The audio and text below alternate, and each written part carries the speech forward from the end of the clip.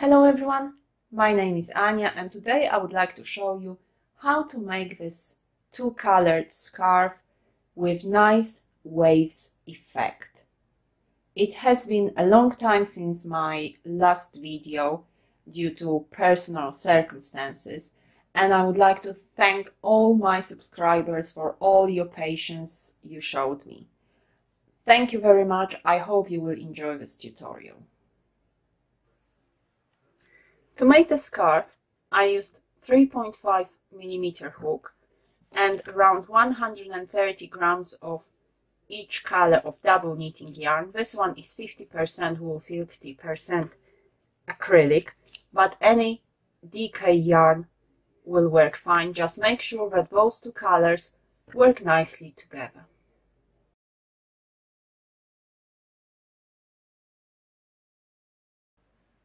I would like to show you now how to do the first part of the project, which on its own can create a scarf. I will then show you how to do the second part, which is just a mirror of the first part. But if you decide in the middle of the project, oh, I just want to use one color and one color is enough, the scarf with just one part finish can work very well on its own.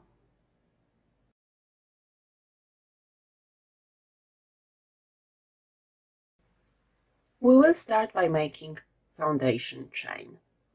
So we will twist our yarn and pull one end through. We'll insert our hook into a slip knot and we'll start making chains. Yarn over, pull through, chain one, yarn over, pull through, chain two, yarn over, pull through, chain three, four, five, six, seven and carry on making foundation chain to the length of your desired scarf. With this pattern, it does not matter what the length of your foundation chain is, what the number of chains is. I made altogether 262 chains, as two last chains will not count, and it gave me the length of the middle part of 180 centimeters but between 200 and 220 chains you will have quite nice scarf and not that long. Because I am tall I always make everything larger. And when you reach the required number of chains I will show you how to do the first row. We will work double crochet into the third chain from the hook. So I'm not counting the loop on my hook, but those V shapes after this loop. So one, two. We will not work in those two chains, but into the third chain. Yarn over the hook, insert the hook into this third chain, yarn over, pull through, yarn over, pull through two loops, and yarn over, pull through two loops. And this is your first double crochet made and we will carry on working double crochet into each chain of our foundation chain and this chain two will not count as a stitch. So in this pattern we are only counting double crochets. Yarn over the hook, insert the hook into the next chain, yarn over, pull through, yarn over, pull through two loops, and yarn over, pull through two loops. Two double crochet and carry on working your double crochet into each chain of this foundation chain until you reach the end. And again, in the last chain, you will need to work double crochet. So carry on working your double crochet and I will show you how to do your next row.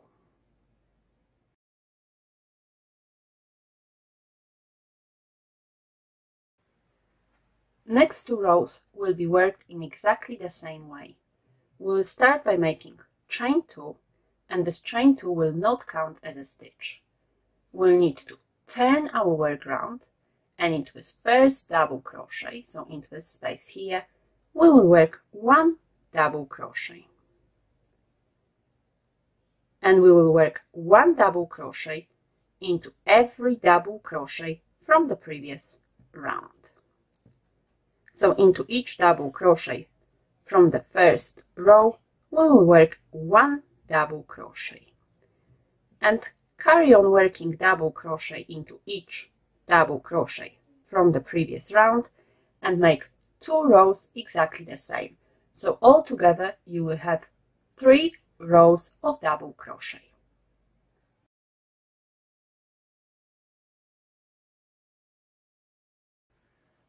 We'll start this round by working chain 2, which will not count as a stitch. We'll need to turn our work round and into this first double crochet we will work double crochet. We will work chain 1 and into each of the next double crochet we'll work one double crochet followed by chain 1 so into each double crochet from the previous round, we will be working double crochet and then chain one. So right now we are creating this waves effect. And carry on working like this up until you reach the end. And of course at the end after the last double crochet you will not need to work chain one. So after last double crochet, just finish on double crochet.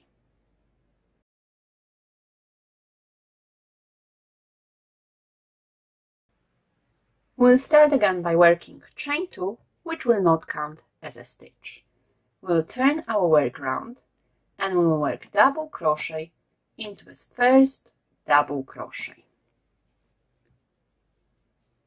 Chain 1 double crochet into the next double crochet. Chain one. Double crochet into the next double crochet. Chain one. And we'll work double crochet into each double crochet from the previous row followed by chain one. So double crochet into each double crochet and then chain one. And just please remember that into the last double crochet you just work double crochet without chain one.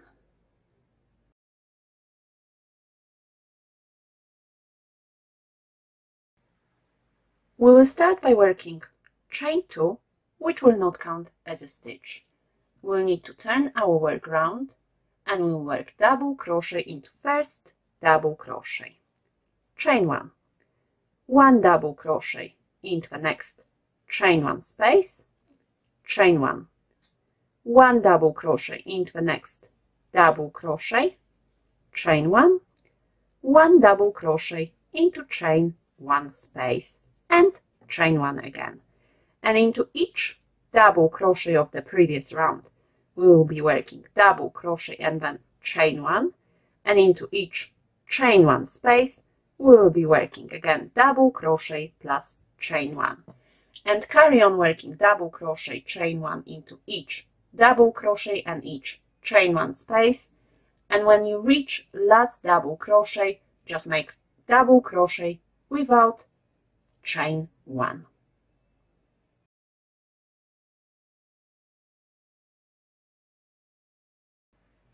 next two rows which are going to be the last rows of this side will be worked in exactly the same way.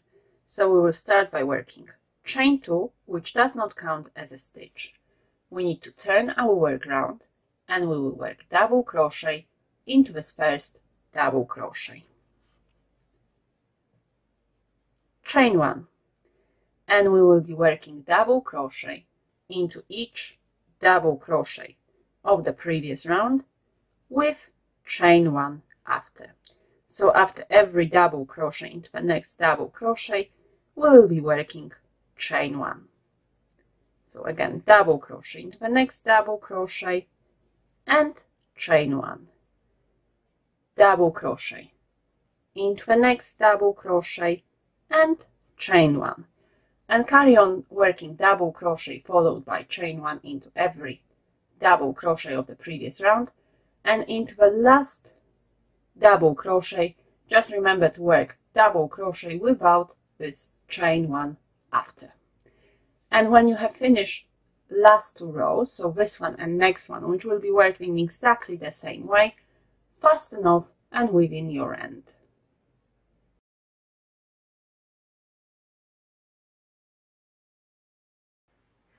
I will now show you how to do the second part of our scarf and we will be using a new color yarn. The second part is a mirror of the first part so we will be using exactly the same stitches in exactly the same combination. The most important part is to get your first row right. So you will be using your foundation chain but working in the opposite direction to your first part. And to get your stitches right, the best way to insert your hook will be to insert it just under the post of double crochet, each double crochet from the first row of the first part.